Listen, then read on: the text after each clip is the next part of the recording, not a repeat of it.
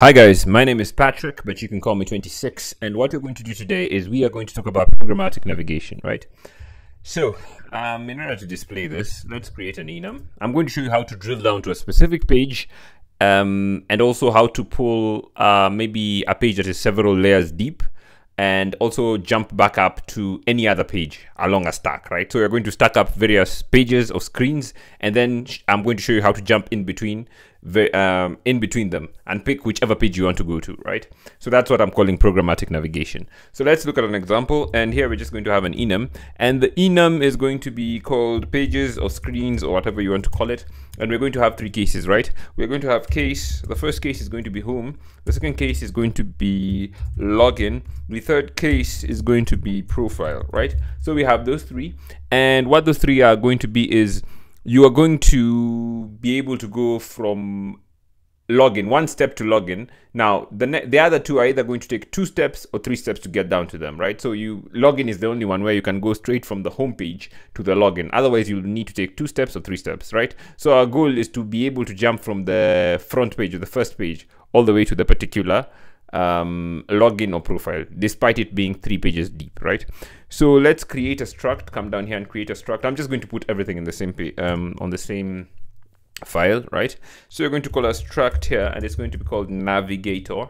Navigator is going to be, we could come here and this is going to be, um, we could say at view builder like so, and we're going to have a static function, static func, and this func is going to be called navi navigate like so. And navigate is going to take a page and it's going to do exactly what it says it's going to do.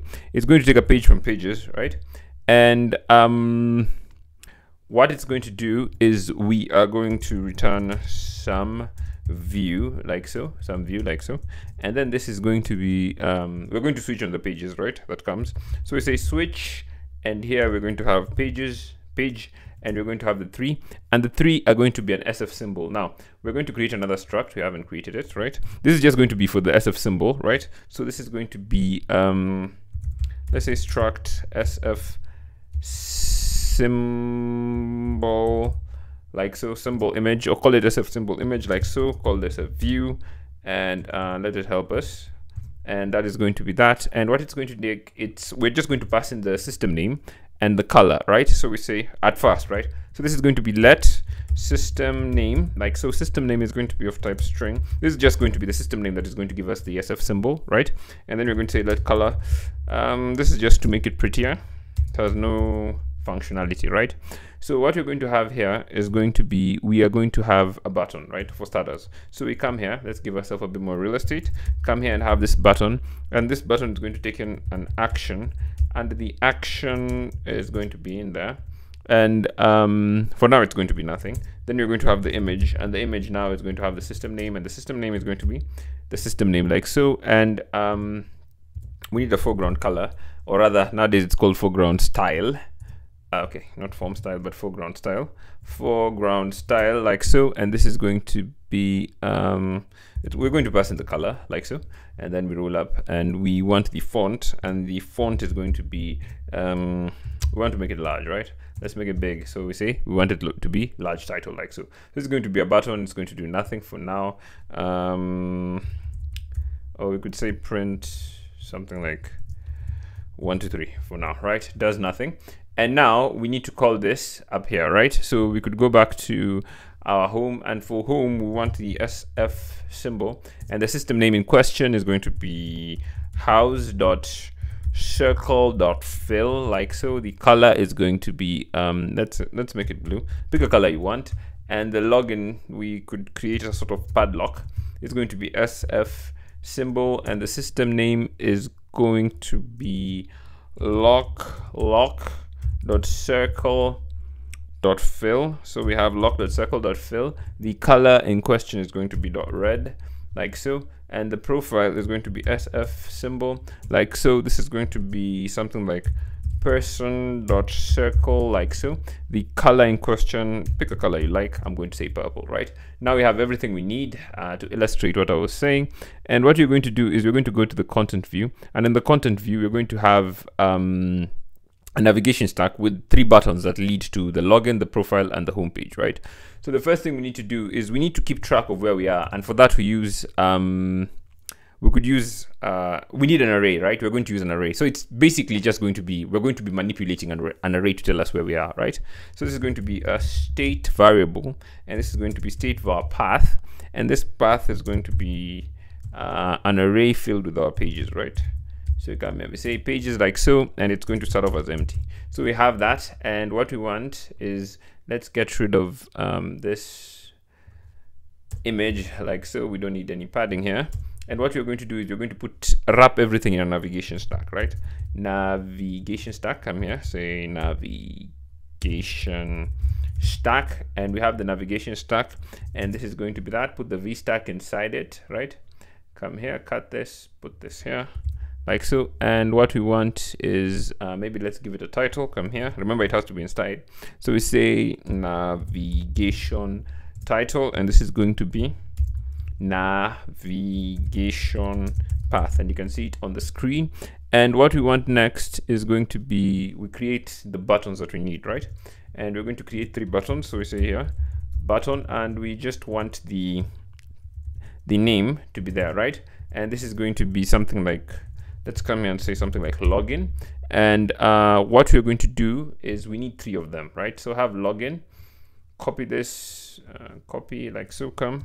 We have login uh, login and then the next one is going to be profile and the third one is going to be there's login profile and home right?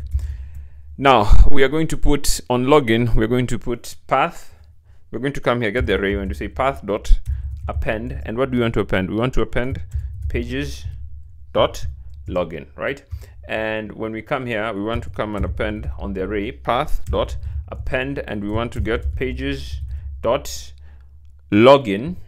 And then afterwards we're going to hit command D and we want pages dot login and then we want the profile right?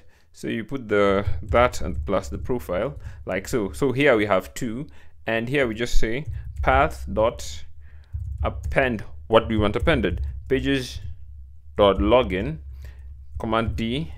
We don't want the login we want the profile. Um, command d. After the profile we would like the home right? That way we have three. So we have the login the profile and the home right? So um, this is not going to work of course until we there are two things we've not done. We need to tell it the path so that it can know how to stack them. So we come here and we say path like so. And the path is just going to be bound to the path right? So that you can know when we are stacking them and when we are removing them right? And our buttons look really small so let's make them a bit more a bit larger by coming here on the VStack and saying font and this is going to be we wanted large title so we have a bit bigger buttons. It's still not going to work because we have not told it the destinations right? So you could put the destinations on the VStack so that you can know what to switch on. And we say navigation navigation destination and we have navigation destination like so. And this is going to be for and for here we need a hashable type which our pages luckily is. We say pages.self hit this. This is going to be that and we come here we need page. And in the closure what you're going to have is going to be we now call the navigator navigator dot and uh, the static function is navigate and to our pages we pass in the page like so right? So now we are going to be able to stack up and go to that particular page right? So if we go to login we do come here and we find a button right? And when we hit back we go back to the main page. When we go to profile um, why doesn't profile show right? We have an sf symbol for some reason. Let's see profile um, we have that and for some reason we're not seeing our profile. I'm not sure why but we have we're seeing this right? So let's see. What are we doing here? Um login and profile. Okay. So the login is being logged but the profile for some reason um there's something that is not working with our profile right? Okay the profile we misspelled circle right? So this is supposed to be circle like so right? Now if we command b um, that's the thing about sf symbol. They're a bit finicky. You have to be exactly spot on with your naming of the system name, right? So if we come here to profile now, let's just reload this. If you come to profile, Uh, let's command B, build it and try it. Okay, build successful. And now we come, we see our person, right? But when we go back, we shouldn't go back directly to the main page because we have jumped in two pages in, right? Now we have uh, the login and the profile on the stack, right? So if we go back, we should come here and we see this is a login, a padlock, remember, is a sign of our lock, our lock, um, our login, right? And we do this, we come to the top, right? When you come to home, we should be three levels deep, right? So we have a blue house, right? This is going to be the house like so. When you go back, we should see the person, meaning that we are now on um, profile. And when you go back again, we should see the login because of the lock. And when you go back again, we're going to be on the first one. And this is going to be the very first page, right? And we could even make it more obvious. It's not as obvious right now by coming and saying VStack like so. Put the VStack here and wrap the button under a VStack. And after the button what we would like to do is we would like to put a text. Let's put a text and we see exactly what is on the nav path. Um, let's pass in the navigation path. Let's come here and say something like add binding. So you can see it right? Uh, var this is going to be the nav path. Call it the nav path like so. And the nav path is just going to be an array of pages right then you're going to see exactly what pages are on top of what we're doing right and here it's going to be nav path dot description, right? So that you can see it like so. It's going to complain, I believe, here. And here, what we need to do is we need to pass in the nav path. So you could come here, put a comma after pages, and say this is going to be the nav path. And this is going to be a type of binding like so. And we're just going to bind an array of pages, right?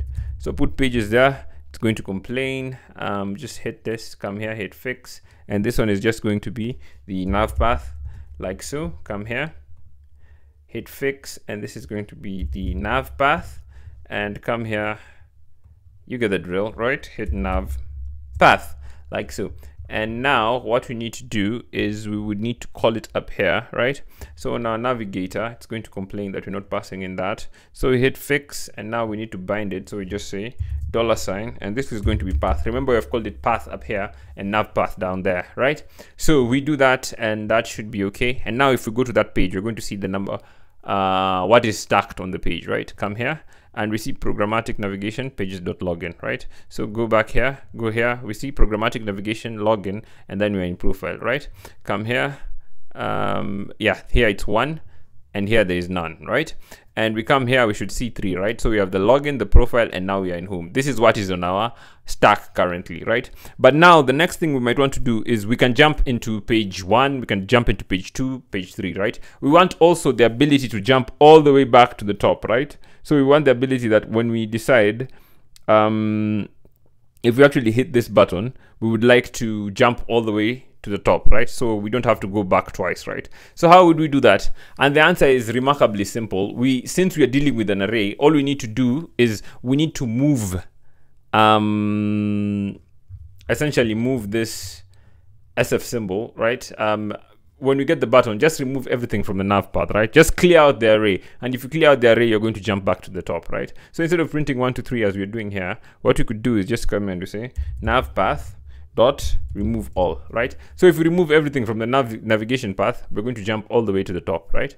So let's see whether that works. Let's just hit command b and give it a second that works. Come here to login and you're just going to see this is where we are one level deep. And if we hit this we go back to the top. Same as hitting back but where it's going to be useful is when we're two levels deep right? So now we have this two. If we hit this we need to go one two right? Uh, if we hit this and we hit this button, we jump all the way to the top, right?